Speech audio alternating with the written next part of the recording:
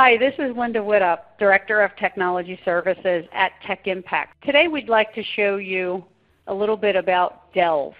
Delve is a Microsoft application that comes with Office 365 Online.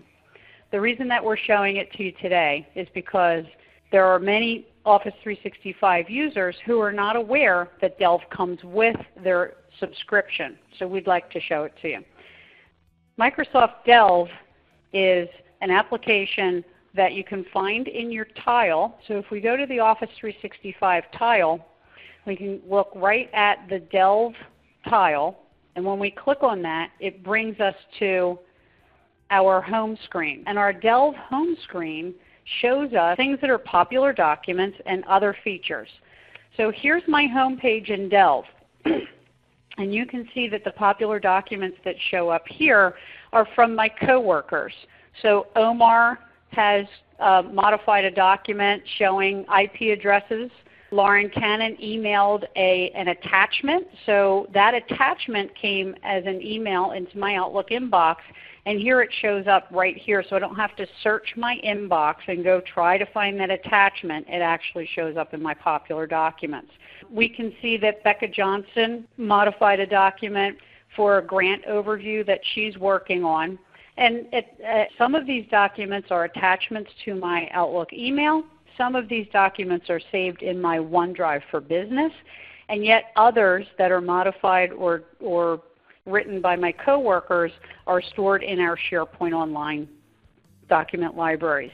What I like about Delve is that Delve gives me quick and easy access to documents that were modified or created by my coworkers without having to go search for them wherever they've stored them in SharePoint or they've emailed them as an attachment to me.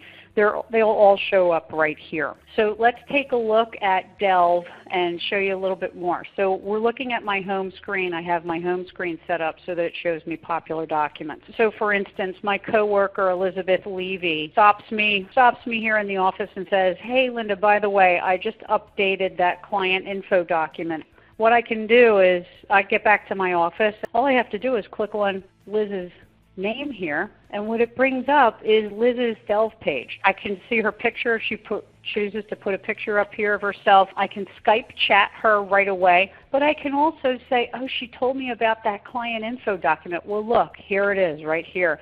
I can actually click on that and open it right up and take a look at the updates that she made. So this is available to me because I have access to the same file, the same document library in SharePoint that she saved this. So you can see that it's in a, in a document library. It says MS and infrastructure, and that's where she saved this document.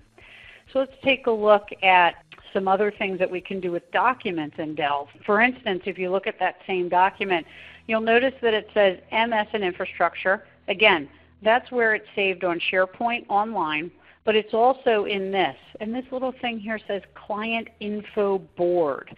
That's a board that I created. And if we look here and click on the Client Info Board, it will take me to other things that I've put into my in Client Info Board. We're going to look on the left-hand side of the screen here, and you'll see that I have actually created two boards, one called Client Info, another called Office 365 Roadshow. And what I do is when I find documents that suit that grouping, I can go ahead and, and say that this goes into one or the other. So let's take a look at how we do that.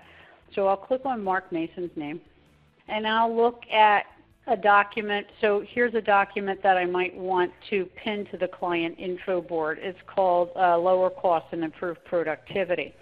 So again, what I can do here is click on that and then just add to board. So what board do I want to add to? Client info.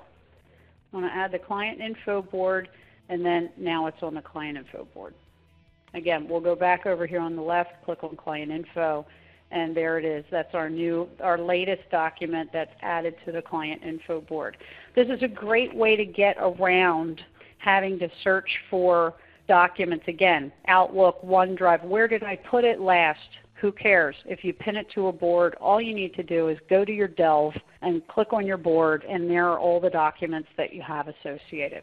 Another aspect of Delve online is that I can create a profile. This is my Delve board. So I just clicked on the me icon on the left hand side and you'll see that I've got my own space here. And I can do things in, in my space like create a pro, an online presence or online profile.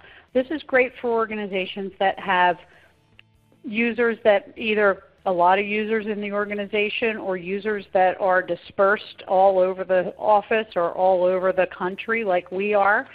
Um, gives a sense of I can look up somebody on that I work with, a coworker, and say, oh, look at that. I didn't know. Oh, there's her cell phone number. Uh, there's my cell phone number. Oh, here are some of the projects that I'm known for around the office, Microsoft Office 365, managed services, the colleges that I went to, my skills, public speaking, my interests. I also see my organization chart. So I can see, we can see that I report to the executive director and Liz Levy reports directly to me.